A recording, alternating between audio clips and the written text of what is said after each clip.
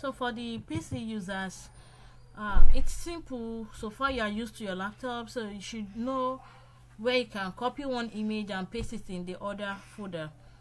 So you just need to locate um, you just need to locate where this your html file is saved. So as for me okay the easiest way to know is you can bring your mouse pointer to this firstcode.html then it's going to show you its address. So under programming project when you open it you see code with Habeebah then my first code then first code.html so it's as simple as that.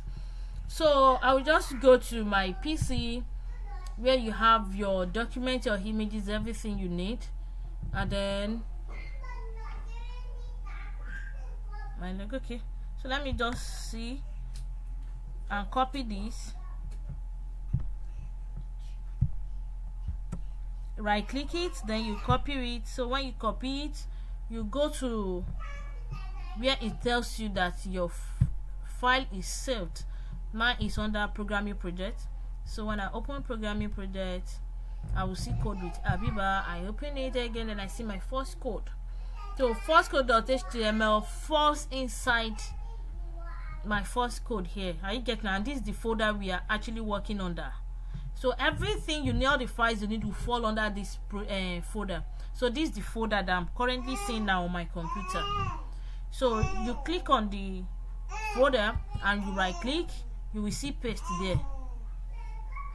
So when you paste it it's going to be there. So exactly immediately it is showing here my logo so so so so this is the address. You can click on it right click it and rename it to make it easier. So when you rename it it will be very easy my logo. So it's as simple as that.